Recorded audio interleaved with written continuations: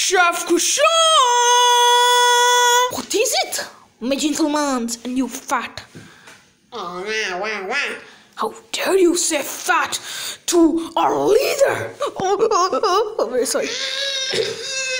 It's okay, Chef Kushan. Uh, uh, It's okay. It's okay, little munchkin. Sit down. Sit down.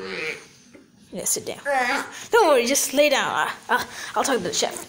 Okay, Chef Kushan, I want you to make us some spaghetti and meatballs. Wow, wow, wow. Okay, what are they? Search it up or something.